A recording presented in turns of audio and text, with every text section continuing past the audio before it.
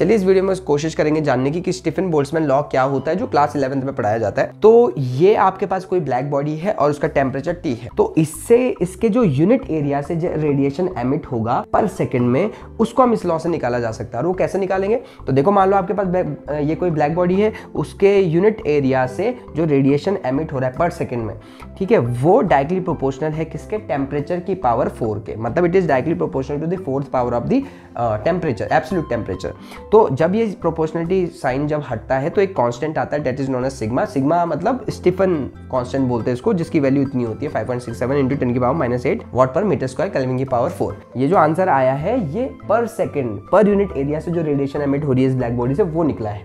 अगर आप इसको पूरे सरफेस एरिया से कितना रेडिएशन एमिट हुआ है, वो अगर आप निकालना चाहते हो, आपको तो इसके एरिया से पूरे जो सरफेस एरिया उससे मल्टीप्लाई करना पड़ेगा। तब इसके पूरे सरफेस से कितना रेडिएशन एमिट हुआ है, वो आप निकाल सकोगे।